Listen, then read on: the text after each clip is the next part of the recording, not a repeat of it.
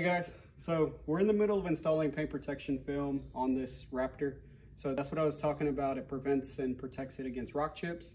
So we installed it here so far, still got to roll the edges here, but the headlight is getting it and the headlight is a key point because a lot of impact is going to hit the headlight.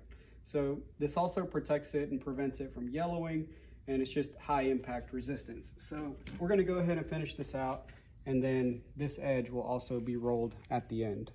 So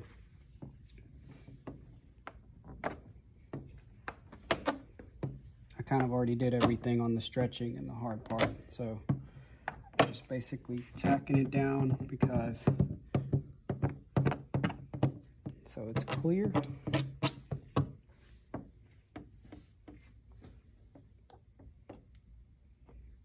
And dry it off.